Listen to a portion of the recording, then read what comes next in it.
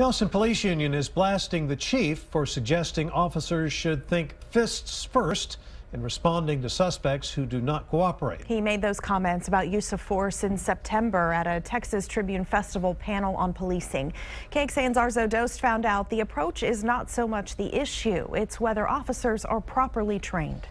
Stop right there. I can hear you just fine. Ken Morgan specializes in hand-to-hand combat. Should they decide to punch or reach in, all we're going to do is pivot out of the way. He teaches what's called Combat Objective Battle Ready Application, or COBRA.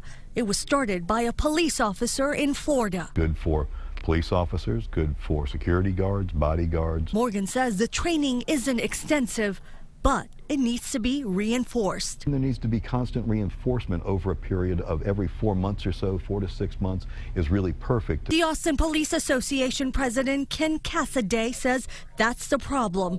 Officers aren't getting enough retraining. Everyone needs to be retrained and we need to have continuing education. One, two, three. Casaday points out that about 52 hours of hand to hand combat is covered during an eight month long academy.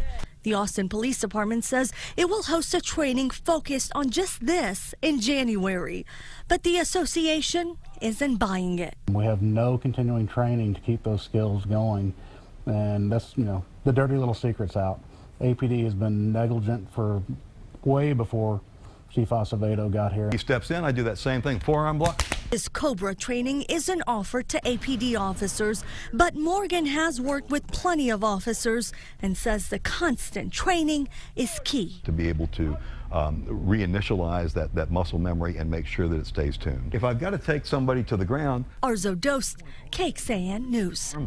We wanted to speak to Chief Art Acevedo, but he was not available today. APD did send us a statement saying Austin Police Department policy requires officers to use only the amount of force that is reasonably necessary to overcome the resistance they are encountering.